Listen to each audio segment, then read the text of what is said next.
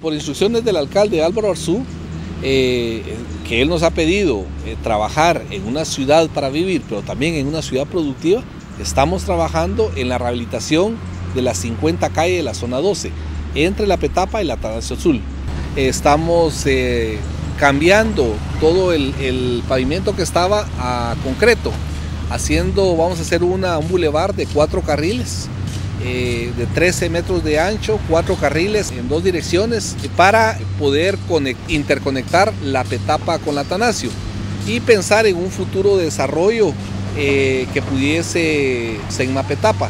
Esto es parte de la visión del alcalde Arzú eh, para el desarrollo de, la, de la, ciudad y, el, y, es una forma donde los vecinos pueden ver materializados cómo sus impuestos se convierten en una obra de beneficio.